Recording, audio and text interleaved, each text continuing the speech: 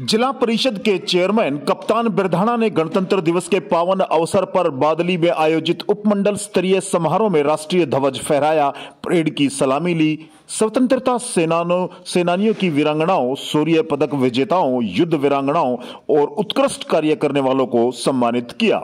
जिला परिषद चेयरमैन ने गणतंत्र दिवस के पावन पर्व की देश प्रदेश वासियों को बधाई देते हुए कहा कि अनगिनत बलिदानियों की शहादत की बदौलत हमें गणतंत्र दिवस मनाने का यह गौरवशाली अवसर प्राप्त हुआ है।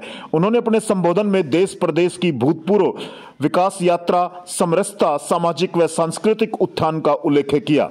उन्होंने कहा कि पूर्व कृषि मंत्री ओम प्रकाश धनखड़ के प्रयासों से हरियाणा सरकार ने बादली को उपमंडल का दर्जा दिया और इसी की बदौलत बादली में राजकीय स्तर पर राष्ट्रीय पर्व धूमधाम से मनाया जा रहा है। कप्तान बिरधाना ने कहा कि हमारी सरकार ने बादली क्षेत्र में विकास को गति देने के लिए बादली को उपमंडल, तहसील, ब्लॉक व माछरौली को ब्लॉक का दर्जा दिया। अधूरे के एमपी एक्सप्रेस का निर्माण कार्य पूरा करवाया।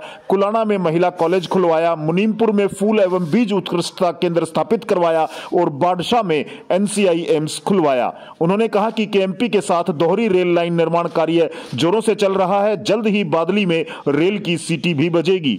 बादली रेलवे स्टेशन से बैठकर देश भर में रेल की यात्रा करते हुए पहुँच जाएँगे।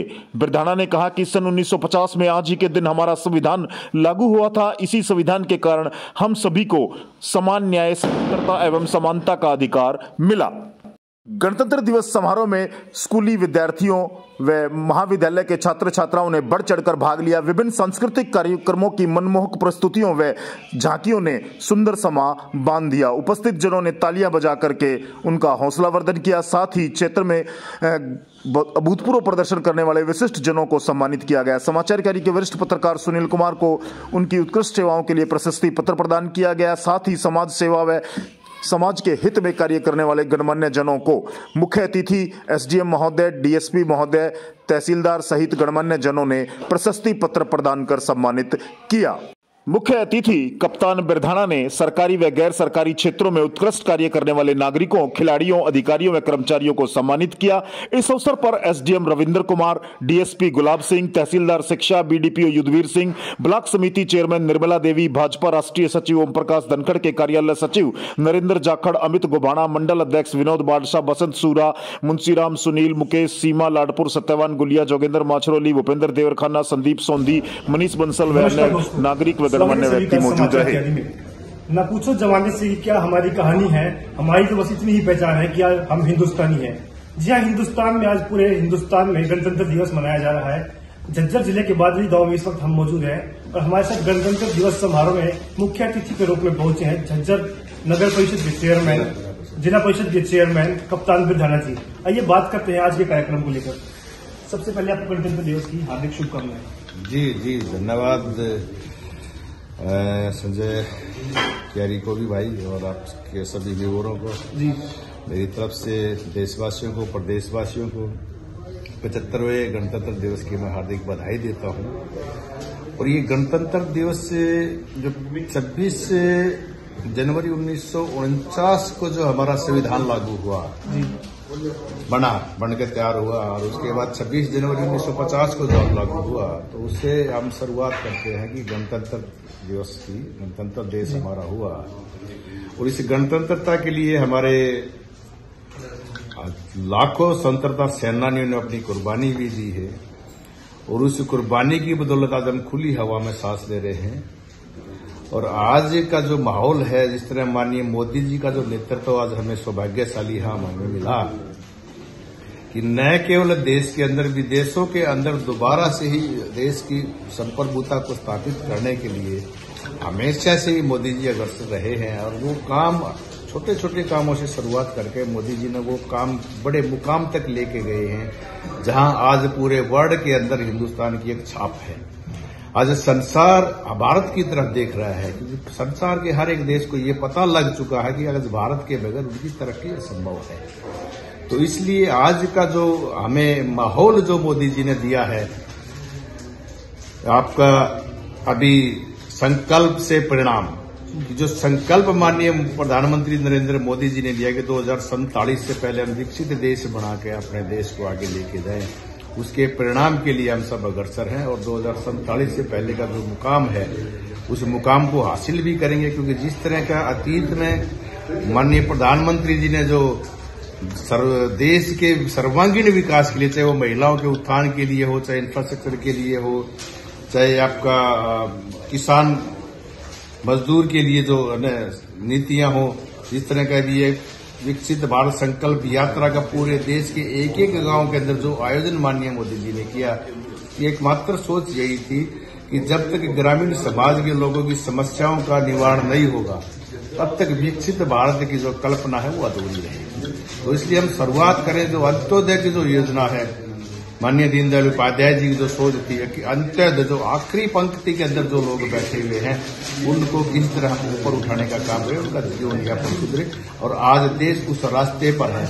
उसी तरह हरियाणा प्रदेश के माननीय मुख्यमंत्री की जो सोच थी, परिवार पहचान पत्र के माध्यम से, बहुत सी ऐसी हमारी स्कीमें हरियाणा प्रदेश की है जो पूरे देश के अंदर लागू होने जा रही है।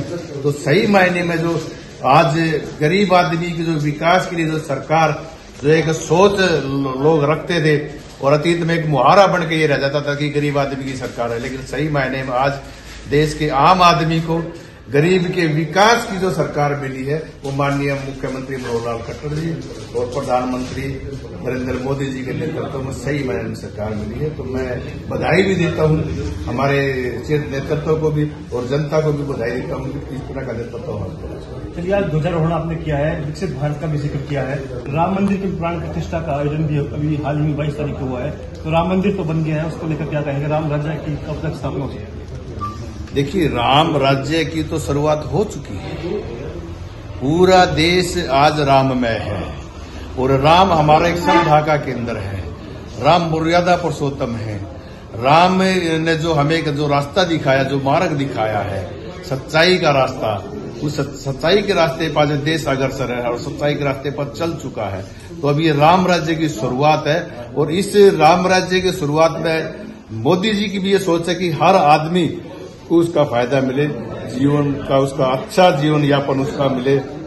वो धार्मिक भावनाओं के साथ अपना जो सनातन धर्म की जो प्रवृत्ति है उस सनातन धर्म को आगे बढ़ाते हुए हम दुनिया को एक नई मिसाल देने का काम करें और दुनिया उसका अनुसरण करे। आप लोगों ने देखा होगा सैकड़ों देशों ने हमारे राम मंदिर के प्राण प्रतिष्ठा के उद्घाटन समारोह को लाइव देखने का काम किया। तो ये हमारे लिए एक सौभाग्य की बात है कि हम दुनिया को नया रास्ता दिखाने जा रहे हैं। बादली के धीरपाल कॉलेज में आज आपने ध्वजारोहण किया है तो खासतौर पर बादली के जो युवा है तो यहाँ की जो युवा पीढ़ी है जो नशे की ओर बढ़ती जा रही थी उनके लिए क्या संदेश देंगे? देखिए मेरा बादली के साथ साथ पूरे ज़िले के युवाओं से एक संदेश है कि ये जो समय है ये समय बार बार नहीं आता। जीवन में जो एक बार समय बीत चुका है वो वापसी नहीं आता। जवानी एक बार बीत चुकी है वो वापसी नहीं आती। आज हमें ज़रूरत इस चीज़ की है कि हम अपने अच्छे संस्कारों को ग्रहण करते हुए अपने शरीर का भी ध्यान रखें और उस शरीर के साथ साथ में एक समाज को नया आईना भी दिखाने का काम करें, उसकी शुरुआत हम सबने करके मिलकर करनी पड़ेगी। और उसके लिए सबसे ज़रूरी है कि पहले अपना शरीर मज़बूत रखें, अपने शरीर को नसों से, विकृतियों से दूर रखें और दूसरा भी यदि कोई लोग करता दिखाई देता है, उसको भी रोकने का काम करें। और इस तरह का प्यार प्रेम की जो भावना लोगों के बीच में लेकर आए एक आपसी भाईचारे मज़बूत होकर के, और लोग इन गलत प्रवृत्तियों के अंदर, क्या जैसे गुंडागर्दी की प्रवृत्ति है, क्योंकि डेवलपमेंट के साथ साथ में कहीं न कहीं साइड इफ़ेक्ट भी आता है। तो आपके बादली हमारे क्षेत्र में, आसपास में अच्छी डेवलपमेंट जो चल रही है तो उसका, हमारे युवा कहीं गलत रास्ते पर ना भटक जाए नशे की तरफ़ ना रहे। इस तरह के मैं एक निवेदन हमारे युवाओं से भी करना चाहता हूँ कि जो समय है, उस समय का सदुपयोग करें और अपनी जो एनर्जी है, उसको अच्छे तरीके में पॉजिटिव तरीके पर लगाने का काम करें, ताकि अपने साथ साथ देश का विकास भी चलिए, गणतंत्र दिवस के सु अवसर पर कप्तान बिरधाना जी ने युवाओं को संदेश दिया है, नशे से दूर रहे। और साथ ही में राम मंदिर के लिए भी उन्होंने कहा है कि ज़्यादा से ज़्यादा लोग सनातन धर्म से जुड़ने का काम करें।